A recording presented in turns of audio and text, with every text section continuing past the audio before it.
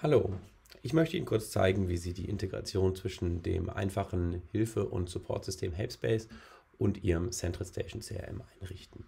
Sie werden dafür in die Helpspace-Einstellung gehen müssen, um dort die Zugangsdaten für Ihr Helpspace-Konto zu finden bzw. hinterlegen zu können. Sie gehen dafür einfach auf die Einstellungen, dort auf Access Tokens und hier gibt es jetzt zwei Dinge, die wir gleich im Verlauf der Einrichtung brauchen werden. Zum einen diese Client-ID, die äh, identifiziert Ihr Helpspace-Konto eindeutig, die ist also unveränderlich. Und dann werden Sie gleich einen sogenannten Access-Token erstellen müssen, mit dem Central Station dann auf Ihr Helpspace-Konto zugreifen kann.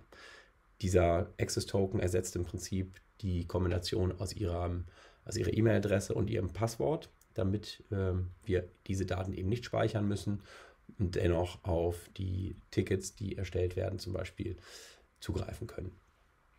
Wir gehen aber mal kurz einmal rüber zu Central Station, damit Sie sich dort anschauen können, wo diese Daten denn überhaupt hin sollen.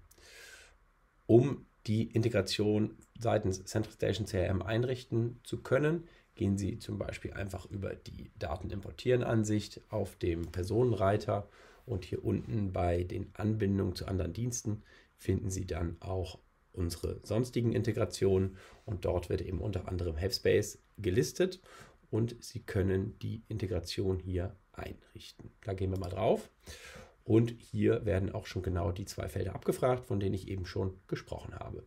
Insofern ist es jetzt an der Zeit, einmal zu Helpspace zu wechseln und diese zwei Dinge zu Central Station zu kopieren. Nehmen wir zum einen mal die Client-ID. Das ist das, wie gesagt, unveränderliche, was wir hier einfach reinspeichern können. Und dann müssen wir ein Access-Token anlegen. Das ist dann der äh, ja, Token, um die Verbindung äh, zu autorisieren. Dem geben Sie am besten irgendeinen äh, bezeichnenden Namen, damit Sie nachher auch wissen, dass es um die äh, Verbindung zu Central geht. Upsa. Jetzt erstellen Sie diesen Token und kopieren sich den. Den werden Sie später hier bei Helpspace und auch bei uns niemals mehr einsehen können. Das hat Sicherheitsgründe und ist aber auch genauso richtig.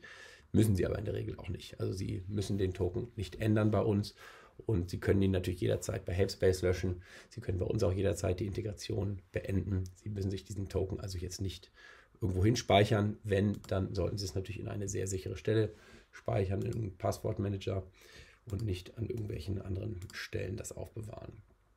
Sobald Sie diese beiden Sachen jetzt hier bei uns in Central Station eingetragen haben, können Sie die Integration abschließen und sehen das dann auch äh, quittiert, sofern die Verbindung erfolgreich war. Und ab diesem Moment würden neue Tickets, die in Helpspace ankommen, auch automatisch in Ihr Central Station gesynkt werden. Und zwar als äh, Notizen im Prinzip. Also es sieht ähnlich aus wie eine E-Mail oder eine Notiz, die Sie schreiben.